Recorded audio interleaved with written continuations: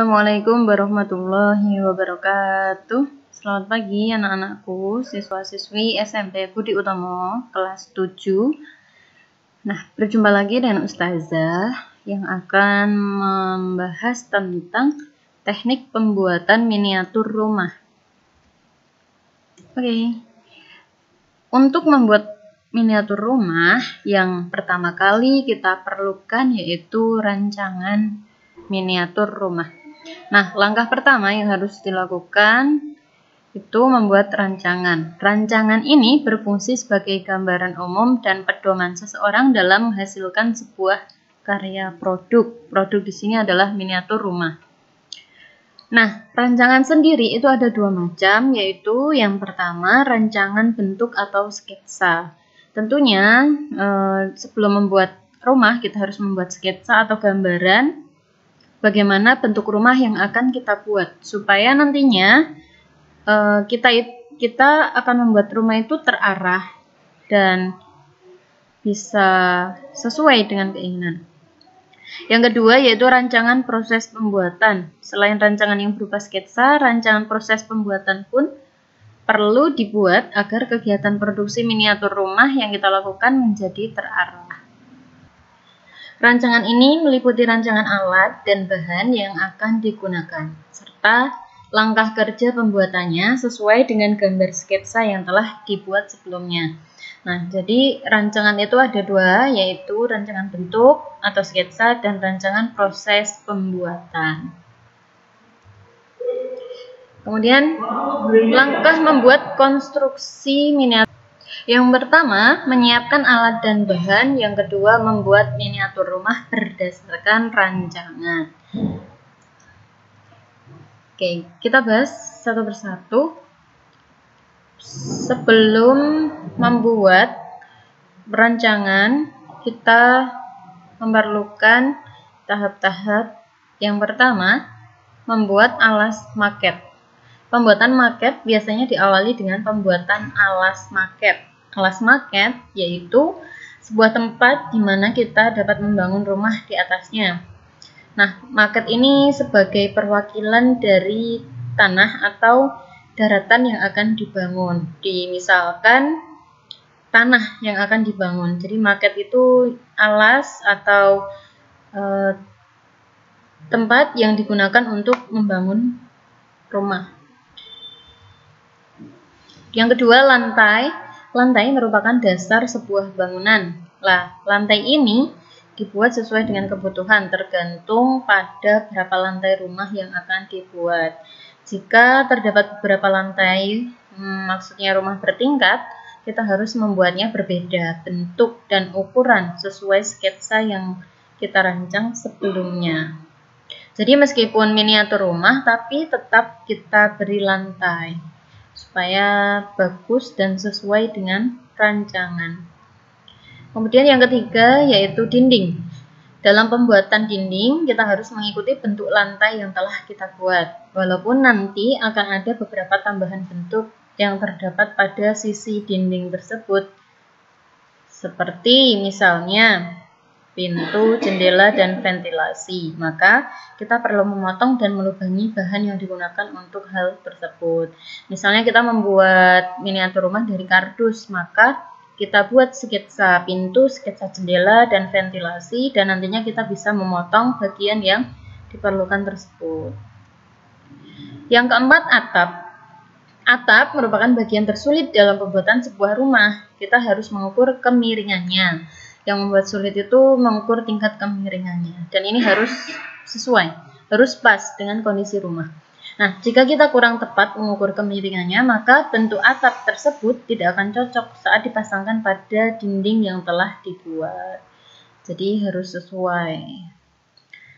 Makanya untuk anak-anak yang kuliah atau sekolah di jurusan bangunan atau teknik mereka harus bisa menguasai uh, ilmu fisika minimal untuk mengukur kemiringan tersebut. Nah, untuk anak-anakku, kalian yang ingin nanti ke depannya uh, menjadi arsitek, menjadi teknik sipil, dan lain-lain, kalian harus setidaknya menguasai ilmu fisika, untuk menghitung ilmu matematika, karena untuk membangun rumah itu diperlukan uh, perhitungan yang tepat. Kemudian yang kelima, pewarnaan. Kegiatan pewarnaan dilakukan untuk menambah keindahan pada miniatur rumah yang dibuat. Namun, tahap pewarnaan ini justru memerlukan ketelitian dan kerapian yang tinggi. Nah, uh, pewarnaan ini merupakan tolak ukur rumah itu bisa dikatakan bagus atau tidak. Misalnya, ada sebuah bangunan yang di situ besar, tinggi, uh, bagus, tapi ketika diwarnai tidak sesuai dengan pewarnaannya, maksudnya tidak matching dengan pewarnaannya, itu akan terlihat uh, kurang sempurna, kurang bagus. Tapi ketika bangunan itu sudah bagus, kokoh, kuat, kemudian pewarnaannya tepat, nah itu akan menambah estetik atau keindahan dari rumah tersebut. Maka ini hal yang uh, lumayan sulit karena harus mempertimbangkan segala aspek. Biasanya uh, untuk membangun rumah itu harus sitek kerjasama dengan uh, apa namanya uh, desain interior maupun desain eksterior untuk pewarnaan. Kemudian yang terakhir adalah pemasangan. Tahap akhir dalam pembuatan sebuah miniatur rumah adalah pemasangan semua materi yang sudah dibuat meliputi pemasangan miniatur rumah pada alas maket, kemudian aksesoris pada alas maket, dan pemasangan bagian-bagian lainnya, sehingga membuat miniatur rumah yang dibuat menjadi semakin istimewa. Jadi yang terakhir ini adalah memasang semua komponen-komponen yang diperlukan dalam pembuatan miniatur rumah. Seperti tadi, jendela, kemudian atap disambungkan dengan uh, dinding, jendela, pintu, dan lain-lain. Nah, sekarang kita lihat saja di sini tutorial pembuatan konstruksi miniatur rumah.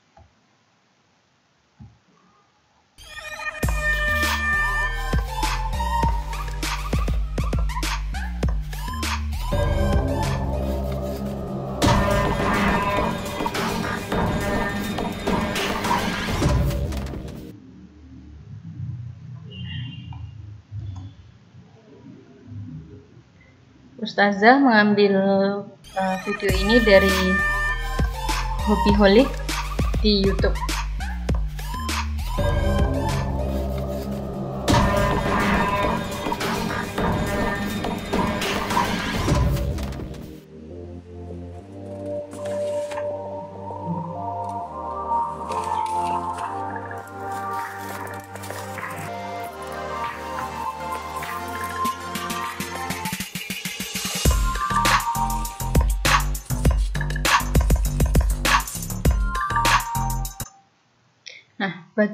Bahan yang digunakan dalam pembuatan miniatur rumah kali ini adalah kardus bekas,